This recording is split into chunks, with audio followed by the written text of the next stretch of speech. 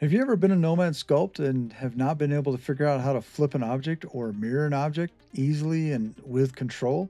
Well, in this video, I'll show you how to do it. It's super easy. It's in the scene menu under repeaters, and it's a really easy thing to do as long as you know the couple little tricks to follow. All right, let's get into it. Okay, so we're going to use this model that I posed up really quick. And if you guys have not used these yet, go up to the folder menu, go to the preset. This is something new in 2.1 and you have all these different models you can use. This happens to be the stylized female. Okay, so now that I already have this posed, to mirror or flip an object in Nomad, it's really simple. A few steps to take care of though. And we'll do the base first just to show you how to do one thing, and then we'll do the whole thing. So if you grab the base, we want to turn on the grid. Now you want to do this because we have to take a look at the gizmo and where the gizmo is. Because if we take the base and we try to add a mirror right now, since this is in the origin and you see that it's on the red and the green lines there on the grid, that you're not going to do anything. It doesn't look like anything's happening. It is, but you can't tell because you haven't moved anything. So the easiest way to fix this, first let's just delete that. Now what we're going to do is move the entire object off the center line. That's the only way to mirror because you're trying to mirror in the center line, so nothing's going to happen. So what we'll do is I'm going to go ahead and just grab both of these, gizmo, move them over. Actually, I need to move this to the right so we'll mirror it properly. And delete that, grab both of these. Now I can move it.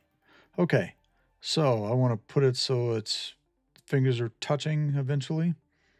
And we'll just grab the base. Now to mirror the base, what you want to do is put the gizmo on the center of the grid line. So come over to the pivot, slide this over right to the center, somewhere about right there. Hit the pivot button again, and now when we add a mirror, I'll have to get up on top where we can see it. And you can just click through your different mirror buttons and you'll see that that's the one you want. Now you'll look at the mirror object up here and the one that's in black is the one that's happening or multiple if you want multiple to do go. But Z is the one that's mirrored and you'll take a look at the gizmo. The blue is the axis that you're working with if you want to mirror in the other axes in red or green, then that's the ones you use and that's the directions the mirrors are going to go. Okay, so to do the whole thing, I'm going to go ahead and just delete that again. Now, it's the exact same process if you want to mirror the whole person. Grab both of them. We'll go ahead and snap to the right so you can see the grid. Now, you'll notice if you're off of center that you have to snap to the grid so you can see it.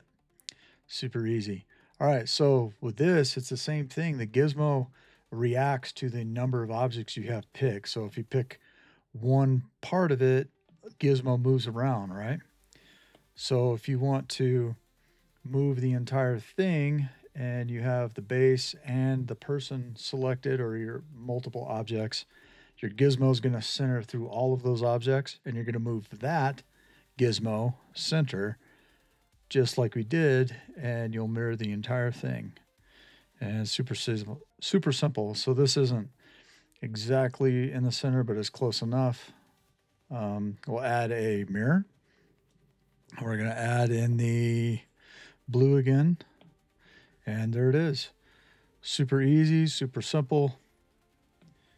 Unselect that and there it is. So perfect, simple, easy way to do this.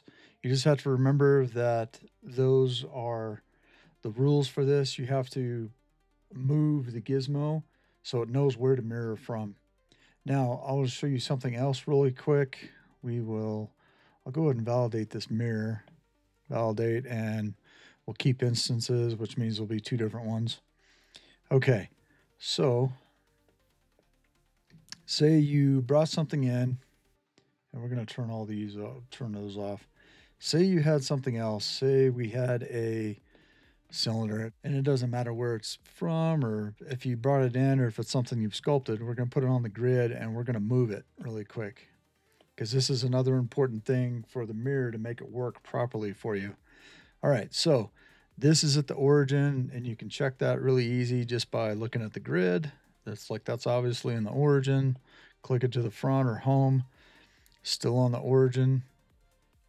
But if we come up here, you can see that in the matrix, move to origin is is grayed out. That means it's been that's where it lives. Now, as soon as you move it, you'll see the move origin pops up. So, say you have this and you've sculpted this off somewhere in space and you want this you you sculpted it over here or you imported an object in you want to mirror the object that you brought in to make this happen so the mirror works because it's not going to work very well here. It works so much better if you move it to the origin so turn your grid on go to the front. There we go turn the grid on come up here to the gizmo.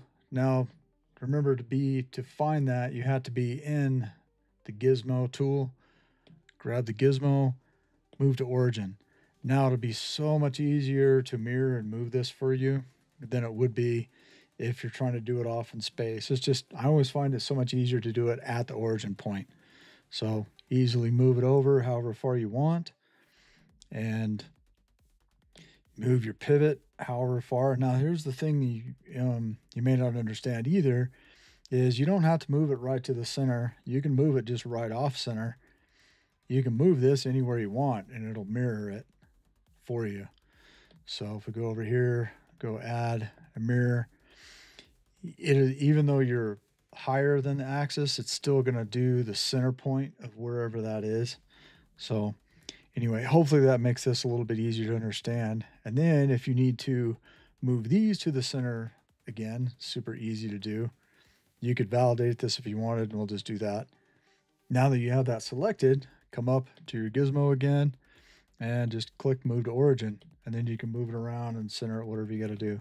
That's the one thing with the mirror repeater is that it doesn't just automatically do it. You need to help it along a little bit. And this is one of the easiest ways to do it and control it at the same time.